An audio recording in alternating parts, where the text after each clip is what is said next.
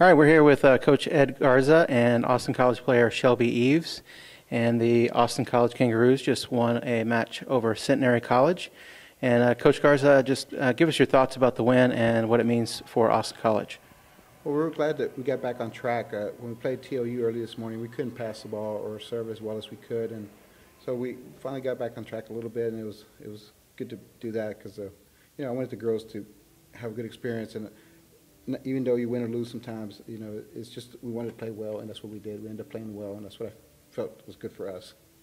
You also mentioned earlier that uh, one of the goals for the team is to stay above 500. Uh, only one year in your long tenure at Austin College have you been below 500.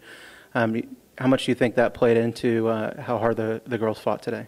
I, th- I think they think about stuff like that. I mean, I, n- I try not to point that out about winning, lo- winning losses, but they, you know, they look at things like that, and they want to, you know, some people will always go back 20 years later and they go, "You're the only team that didn't win," you know, and it, you know, when you're been there for 18 years, you, you should have a, a program that should be do well. So. Great, thanks. And uh, Shelby, we'll go to you. Uh, just talk a little bit about uh, your game. Uh, you had a tough match earlier, but bounced back, and uh, just talk a little bit about uh, the win to this afternoon.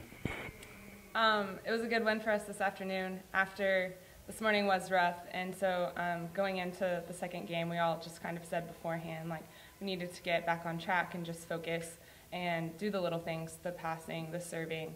Um, we couldn't have the same errors that we had this morning if we wanted to pull out a win. So that was just our focus going in.